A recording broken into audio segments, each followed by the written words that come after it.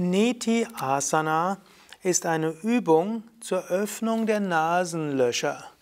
Wenn du mal ein verstopftes Nasenloch hast, dann kannst du folgende Übung mal ausprobieren, ob sie dir hilft.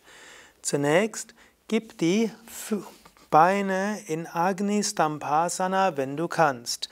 Also ein Fuß unter ein Knie und den anderen Fuß auf das Knie, sodass die Schienbeine übereinander sind wie Feuerholz. Agni Stamba heißt ja Feuerholz.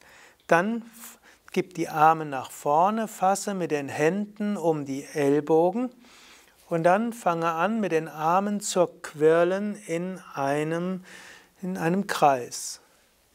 Und diese Stellung aktiviert. Zum einen natürlich den Kreislauf, sie macht die Schultern frei, sie ist auch gut für manche Schultermuskeln, ist entspannend.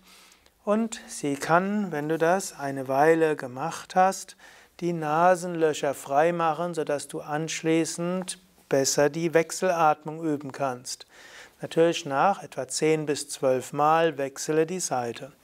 Probier es mal aus und schreibe in die Kommentare, ob dir das geholfen hat, eine freiere Nase zu bekommen. Würde mich interessieren. Danke.